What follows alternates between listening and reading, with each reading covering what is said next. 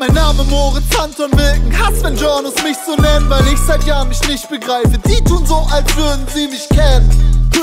Weil ich kenn mich doch selbst kaum. Hier das Grimm 104, Elixier zum Selbstbrauen, evangelische Knochen, ein katholisches Herz.